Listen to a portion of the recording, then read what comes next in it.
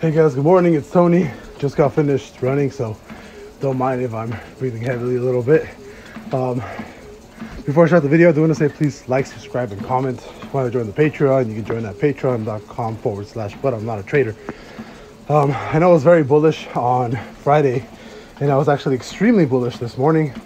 Very, very bullish. But we just recently had um, this big candle down on the hour. Um, you know, you were holding up this extremely well right above mid channel. So I did think that from here, you're immediately going to shoot up to 445, right? But as of right now, you know, you did close NASDAQ. You know, NASDAQ is on that four hour bear, right? NASDAQ on that four hour bear. You're on mid channel and you rejected on that four hours. So as of right now, I'm looking at the possibility of coming back down to around like a 15.3, 15.296 on the NASDAQ. Maybe a little bit higher at like 15,353. So that's what I'm looking for right now. And with CPI tomorrow, you know, it's definitely a good time to offload risk. Um, you know, I would not go into CPI tomorrow holding anything just in case, right? The, the move ends up being unexpected. I don't know which direction CPI is going to take us. But for now, you know, I, definitely started looking at, at, at offloading risk and getting out of longs for now, right? For right now the eight hour did close towards the upside right? So we did close this eight hour bull trigger or eight hour candle above uh, that weekly resistance came right back down and then shot right back up. And you just closed this eight hour towards the upside on spx so while i while spx is looking less bearish than the nasdaq right? You're still going to be more than likely closing this four hour bear in about three hours and in three three and a half hours. So you know right now i definitely offload risk. Um, if anybody wants to long maybe long here at previous support at like 439 um, but as of right now you know you are starting to accelerate lower. There you go. And you just broke lows. So you know it's really right now it's kind of up to you know that five that five minute bear trigger is not doing anything with a bull trigger. So i can definitely see us at least coming back down to touch this 4400 level. Um, but as of right now definitely looking more bearish than than bullish for today. Um, you can also see like the dxy the dollar is pumping completely staying flat right now right? And on the hour 30 minute actually is you might close bearish on this, so we'll see. I don't, you know, the VIX, I tend to only look at the VIX when it has gaps to fill. And the VIX still has, the VIX actually opened with a huge gap down here, 1424, but we still have a massive, massive gap still at this 2124 level. So, you know, if the VIX decides randomly to push up to this level, you know, expect SPX or SPY and, you know, all the big tech to drop heavily. Um, but for right now, at least going into today, it does look a little bit more bearish, right? Apple's already closing the four hour. If we look into the, if we look into big tech, right? Apple closing the four hour, coming down a little bit, still holding up. Uh, Tesla, Tesla still dropping, right? I actually do have calls on Tesla. I'm gonna get the hell out of these at open. I do not want to be holding Tesla calls right now, um, especially with the four hour on everything closing bear. QQQ, right? QQQ coming down a little bit. NVIDIA, NVIDIA hit, hit, hit mid channel, right? I can see this coming back down to like a 473. Amazon, Amazon again, just trading sideways.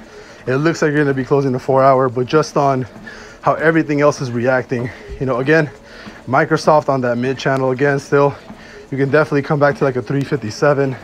And then also AMD already hit resistance here.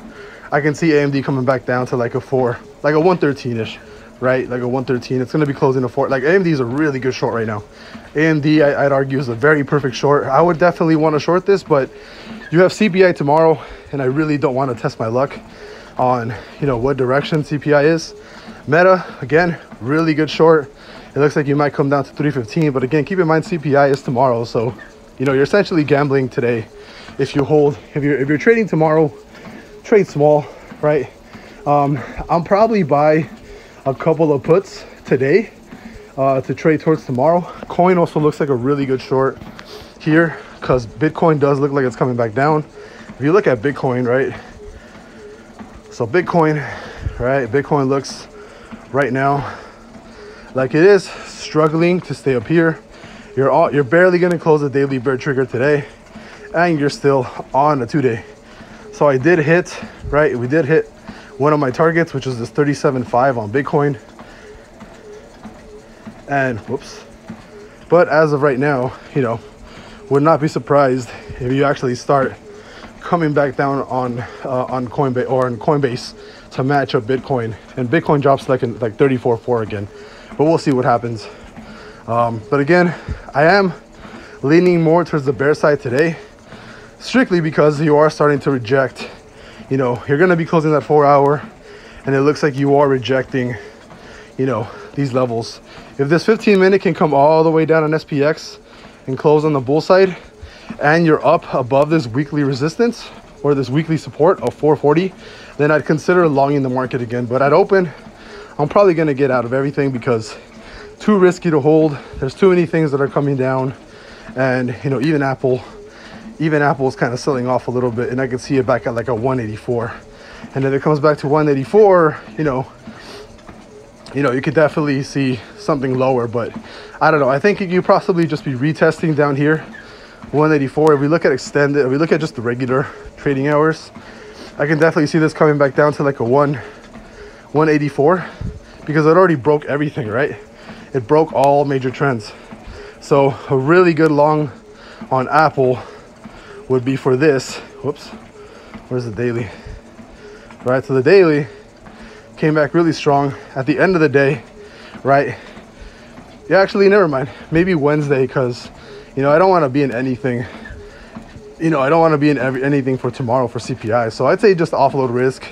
Everything looks a little bit more bearish today as opposed to bullish, just because that those four hours are closing on everything, right? So I'd say definitely offload risk today, especially with CPI tomorrow. So with that being said, more bearish today than anything else. It's good time to offload risk and, you know, possibly a better time to start looking for, you know, I don't want to say shorts, but you could start looking for shorts, um, you know, depending on where we are at CPI tomorrow and how the numbers come out. But if you end up closing the day today back above this trend here, right, then it's a pretty bullish move. And you can expect us to keep pushing towards like a 443, possibly higher 450 level. But for right now, you know, I'd say definitely offload risk, you know, especially from like the more volatile stocks like Tesla or something like uh like Nvidia, AMD, stuff like that. So definitely a good time to start offloading risk. With that being said, I'll see you guys later. Have a great day. Bye-bye.